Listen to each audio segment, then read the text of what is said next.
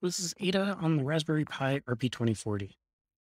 So this is a Raspberry Pi Pico. It's a development board, fits nicely on a breadboard, got a USB port, LED, that sort of thing. This talks mostly about the RP2040, which is that chip in the middle there. It's Raspberry Pi's first in-house silicon.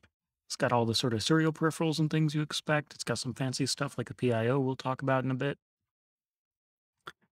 So let's say you want to program this chip. Most people would just go and use their CSDK or maybe MicroPython. Um, I like doing things the hard way, so I'm going to program it in Ada, and that means starting from scratch. So you go to the datasheet and you find a page like this, and you know you've got a base address at the top there, and these are a bunch of offsets. These are all memory locations. You know, reading and writing from them has different side effects. So, for example, this register, uh, writing to it will set an output high or low depending on the bits set. So you've got one bit for each pin. Setting a bit to one makes the output go high. Setting it to zero makes it go low. Pretty straightforward. So if we go straight from that into some code, this is kind of what we end up with. You know, we, we define an array type of Booleans, and we put that at a couple different addresses, and uh, then we can toggle, toggle our LEDs at whatever the system clock is running at. So this isn't too bad. It's pretty obvious what the programmer's intent is. You can see exactly how this relates to the hardware underneath, but you can imagine that this gets pretty tedious copying and pasting things from the datasheet, fairly error prone if you're copying and pasting addresses all day, maybe you copy the wrong one. So I think we can do better than this.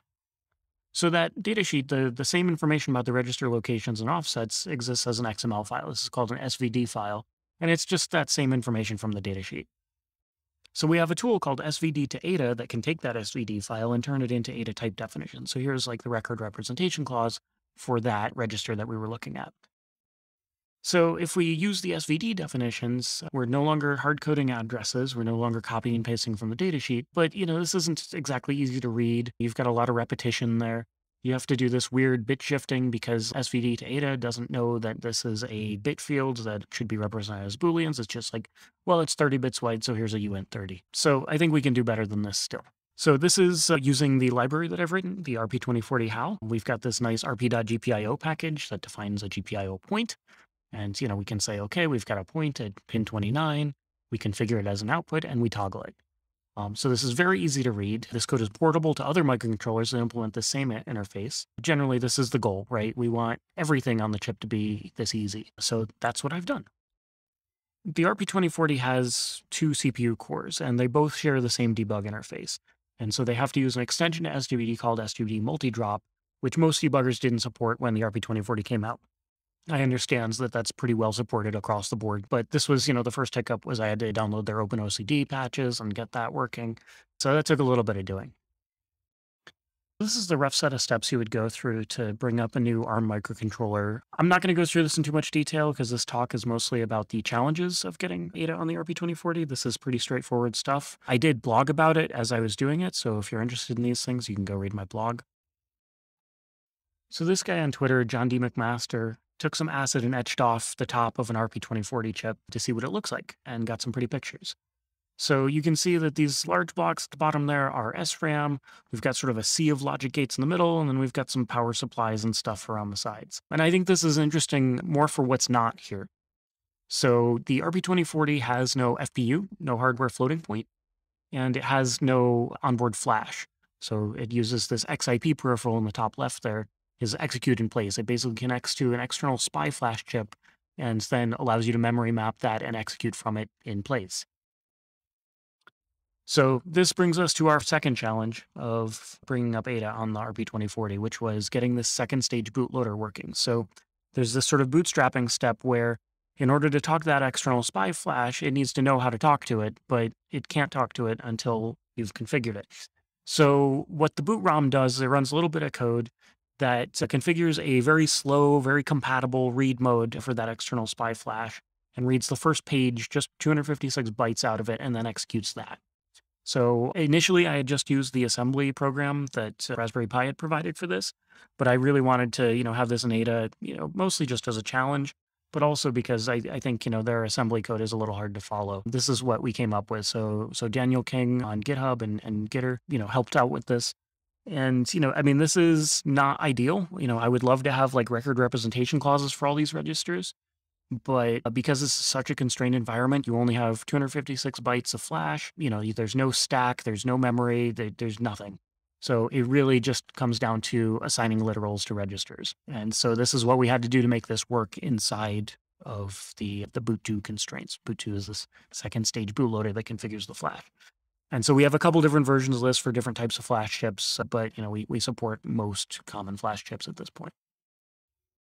So the next challenge was the ROM. So you saw in that diagram earlier that we've got, you know, this sort of mask ROM in the middle of the chip there, and that provides all sorts of functionality. One of the things in there that we really want to use is their soft float library. Because there's no floating point unit in hardware, they've given us a hand optimized assembly floating point library and software in the ROM that we can call into.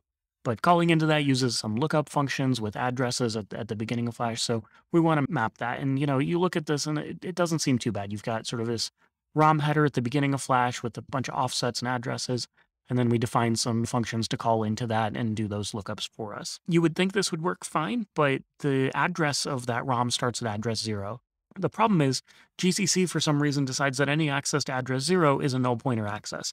And rather than throwing a compile time error or anything, it generates invalid code uh, if you've got any sort of optimization turned on. If you run it with O0, it works fine, but with O2 or, or even O1, it'll just replace that, you know, access to the ROM with invalid code, which is silly. So there's this flag that took me a week to figure out was this F no delete null pointer checks, and that tells it not to do that. And I think that's a relatively safe thing to do in Ada where, you know, we can set not null constraints on access types and, and you know, not have to worry about that so much because the language is going to enforce that for us. Okay, so this is a Adafruit Feather RP2040. So, you know, Raspberry Pi sells the RP2040 chip on its own, not just on that Pico development board. And so a bunch of different companies have made, you know, various types and sizes of development boards for the RP2040. So Adafruit has their Feather format that they sort of do all of their microcontrollers in this same layout. And so they released an RP2040 version of it. This is a little bit nicer than the Pico. It's got a USB-C instead of micro USB. It's got a battery charger built in. It's got an RGB LED. You can think of it as sort of like an upgraded version of the Pico. So you'd think porting code to this would not be too hard. You just change some pin definitions and away you go. And kind of, but it was a little trickier than that. When I wrote the RP2040 driver, I basically just copied specifications from the datasheet, right? So it says like the clock must be in the range 1 to 15 megahertz. So I define a subtype 1 to 15 megahertz. And then Adafruit's documentation said that this has a 24 megahertz crystal. So when I'm writing the BSP for this board, I put in 24 megahertz and the compiler said, no, you can't do that because the datasheet said you couldn't. So I thought this was a pretty cool example of subtypes and, and range constraints, finding a real world error before the code got anywhere near the board. I talked to Adafruit and they confirmed, yes, this was a mistake on the website in the documentation. It was actually a 12 megahertz crystal and they updated that. This is a simulation of the external oscillator circuit. The part on the right here is internal to the RP2040 and on the left is, is sort of the stuff that sits on the board. And the gist of this is that it takes a little bit of time for the crystal oscillator to stabilize once you apply power to it. On the Pico board, this takes a millisecond, maybe. And so we had set a, a relatively short delay. There's a register in the oscillator configuration in the RP2040 for this. So we had set that to one millisecond, no problem. For whatever reason, the Adafruit boards, you know, they either have too much capacitance on these traces or there's some weird PCB inductance. I don't know. But so they take quite a bit longer to start up. So we had to, you know, set this to 64 milliseconds uh, for most of those boards. And uh, we've started seeing this on other boards too, so I'm not exactly sure what's going on there, but we've now changed the default and it'll be safe from now on. So the RP2040 HAL is designed to work with either a light or ZFP runtime or the Ravenscar runtime. So if you're not familiar, Ravenscar runtime adds tasking and memory allocation to some extent to the Ada language, whereas a, a light or ZFP runtime has none of that. It's it's just sort of like here's your code, run it, and if you want to do tasking or anything, you're on your own. So Ravenscar really wants to control all interrupt handlers. It, it wants to in, insert itself in there so it can decide which task to schedule when an interrupt fires. Whereas on the light runtime, we don't have tasks or scheduler or any of that. So uh, this implementation just passes through those interrupt handlers to whatever caller it, it needs to go to. But Ravenscar is going to do some more advanced scheduling of things inside that handler. So we need to provide that same interface for the light runtimes because the drivers need to call attach handler if it's running on Ravenscar. So Fabien wrote a USB embedded device stack. It's an entire USB device stack written in Ada, which is really cool. So The RP2040 does have a hardware USB controller. It's a off-the-shelf silicon IP from a company called Synopsys. The documentation for it is not great, and so there was there was a fair bit of guessing about the functionality and looking at other drivers and see what they did but getting this working was difficult. So the ARMv6M instruction set that this chip has does not have atomic instructions, which is really annoying for a multi-core chip. And the RP2040 does have some hardware things like hardware spin locks, and there's a FIFO between the cores so that you can, you know, message and, and set barriers. But, you know, I didn't want to depend on any of that too heavily because the reality is most applications, like if you're gonna, you know, communicate with the USB device, you're only gonna do it from one core at a time. You're, you're gonna say like, I'm gonna have either a, a Ravenscar task or just a main handler that only runs on one core for talking to that specific hardware peripheral. So we came up with this in-between approach where we just disable global interrupts on whatever core the, the driver is running on during those critical sections, and, and that mostly works. But I think deciding how to handle concurrency is really something that should be left up to the application developer. You're welcome to implement your own protected types or locking or spin locks on top of this.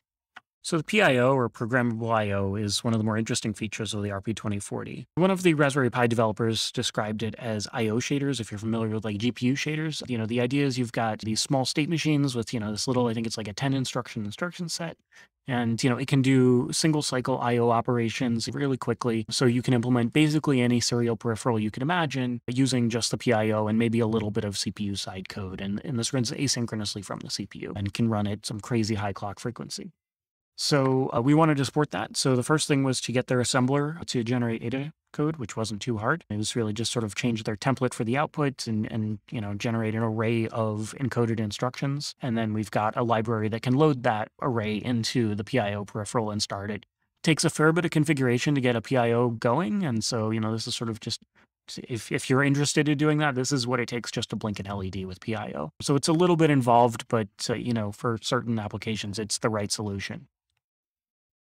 The HAL library that I've written has a lot of tests. So back in January, we had a 1.0 release, and I decided the API was stable enough and started writing a bunch of unit tests. I don't think we're ever going to have 100% unit test coverage, but you know we, we've got testing and coverage now for 50 something percent of the library. So if you've not seen that coverage output, this is what that looks like. You've got this, nice graph showing like the green is what's covered, the red is not.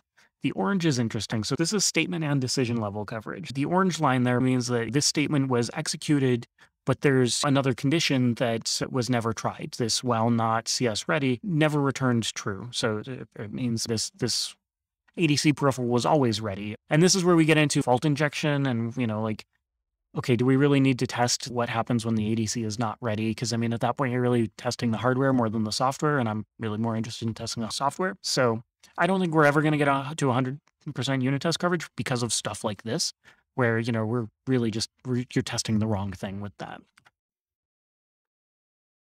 So future directions. So this is a, a figure from the datasheet. Um, you know, it, you can see that if we're sort of implying that there may be more or less cores in the future, we might have different architectures, we might have, you know, some onboard flash would be nice. So whatever chips and devices are coming in the future, I plan to support those. I also think it's interesting that that Eben Upton, the, the CEO of Raspberry Pi here, has stated that they are working on an automotive spec chip, or at the very least pushing the tested temperature limits. So I look forward to seeing what they do with higher reliability parts. So thank you everybody for watching. The documentation is picodoc.synack.me. You can find these slides online and you know find me on GitHub and Twitter.